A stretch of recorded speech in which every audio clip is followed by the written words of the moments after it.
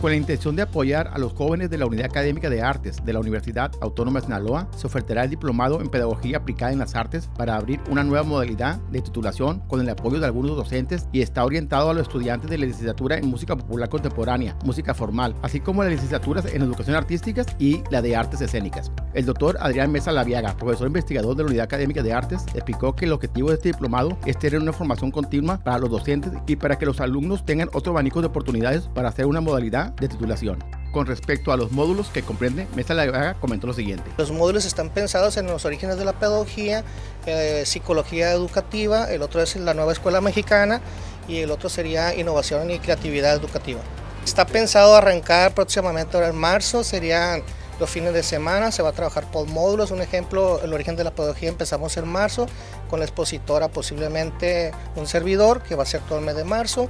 eh, abril empezaremos con la maestra, la doctora Carely Félix, que esta es la secretaria académica con la nueva escuela mexicana.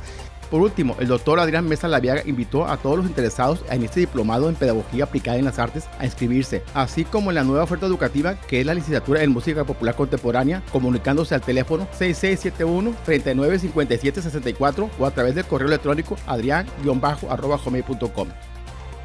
Universidad Autónoma de Sinaloa.